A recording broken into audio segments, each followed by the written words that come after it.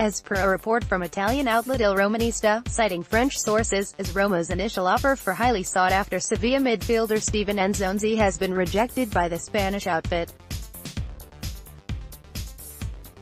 Midfield powerhouse Nzonzi, a deep-lying midfielder equally adept either with the ball at his feet or at breaking up the attacks of opposing sides, has established himself as one of the finest midfielders in La Liga over the last couple of seasons, leading to intense links with the likes of Juventus and Arsenal last summer.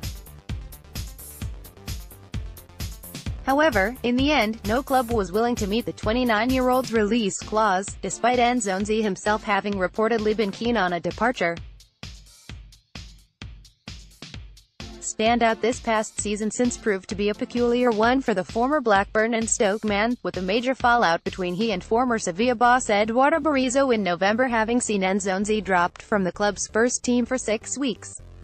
Despite heavy reports that he had likely played his final game for the club, though, Nzonzi managed to work his way back into contention at the Ramon Sanchez Pizjuan, with the powerful midfielder's performances over the second half of the season having been absolutely exemplary.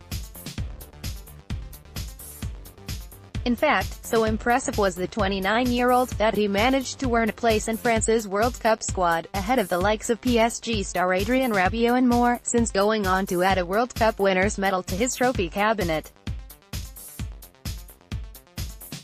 St. Petersburg, Russia, July 10. Paul Pogba of France celebrates victory with teammate Steven Nzonzi following the 2018 FIFA World Cup Russia semi-final match between Belgium and France at St. Petersburg Stadium on July 10, 2018 in St. Petersburg, Russia.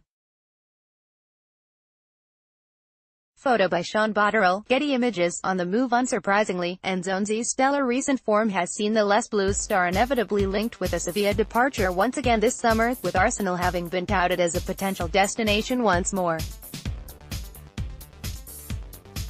Outlets in Spain over the last couple of weeks have even claimed that the midfielder's father agent has informed Sevilla of his absolute intention to depart the club this summer, with a report from Mundo Deportivo last week having suggested that Barcelona have now joined the race for Nzonzi's signature.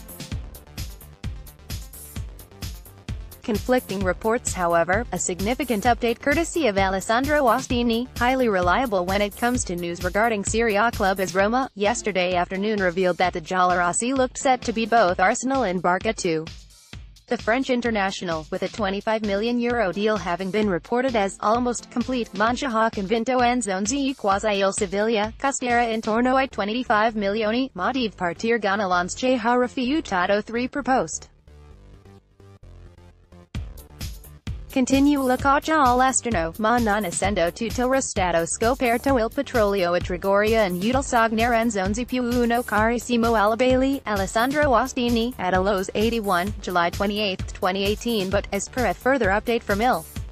Romanista this evening, a deal is not as close to being agreed as was widely suggested yesterday, amid claims that Roma's first offer was actually worth 23 million euro, with Sevilla holding out for 30 million. As such, Nzonzi's other suitors could yet re-emerge as contenders for his signature, though Il Romanista also claimed that the player himself is keen to make the move to the Stadio Olimpico, where he would reunite with former Sevilla sporting director Monchi.